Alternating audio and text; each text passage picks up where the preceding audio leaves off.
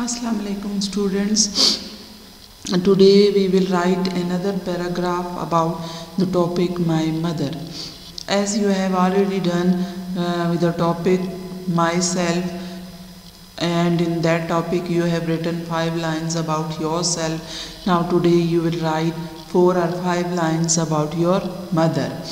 You can start with the sentence my mother's name is this. You will write the name of your mother then you will write my mother cooks food for me. I love my mother.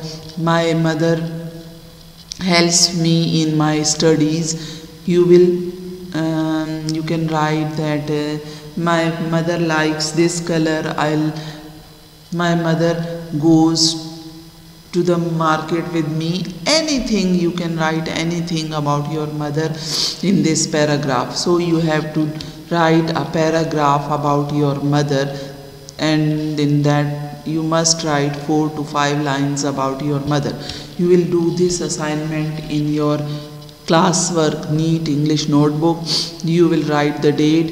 You will write the topic my mother.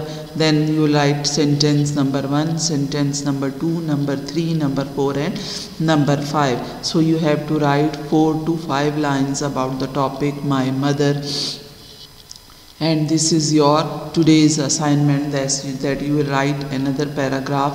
First you have written about yourself. Now you will write about your mother. You will write four to five lines about your mother.